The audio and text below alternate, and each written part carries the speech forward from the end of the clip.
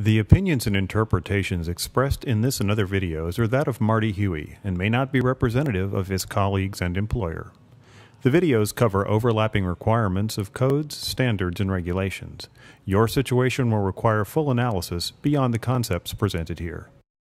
This video is on some design stair minimums, assuming a fully sprinkled building, rectangle stairs, and not residential, i.e. not R1, R2, or R3. One of the first parameters we need to be aware of is our vertical height of a stair cannot be greater than 12 feet without first reaching a floor or a landing. How to measure our stair width required, our exit inches. That is measured from inside a stringer to inside a stringer on a fully sprinkled building. Keep in mind, on a non-sprinkled building, it's measured from inside of handrail to inside of handrail. Our standard width of a stair is 48 inches. If the stair is serving 50 people or less, then that width could go down to 36 inches. But be very careful about that.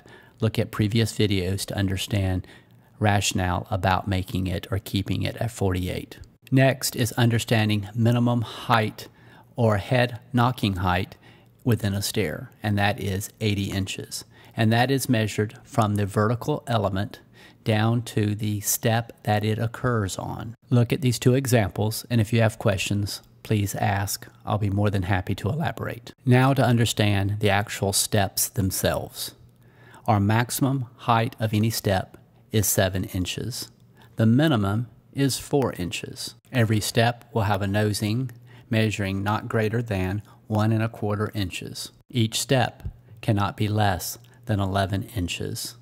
That 11 inches is measured from nosing to nosing, not counting the one and a quarter inches.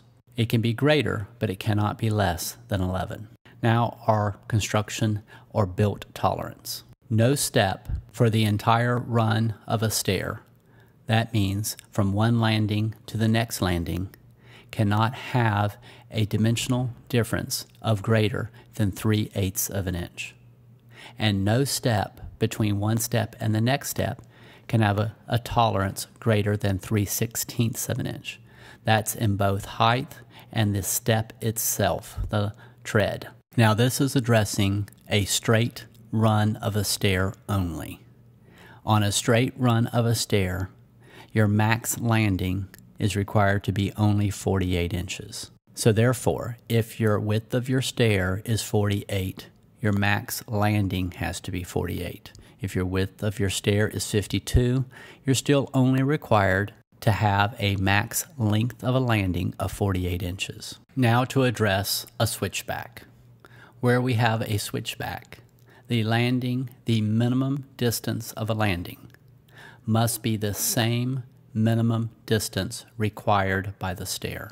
Pay particular attention to the nosing at landings, measured from this location of the nosing at the landing to the side or other side of the stair landing must measure the same distance as the tread width itself. Door swings. Measuring from the door swing area itself to the nosing or floor area cannot be less than one half the required width of the stair.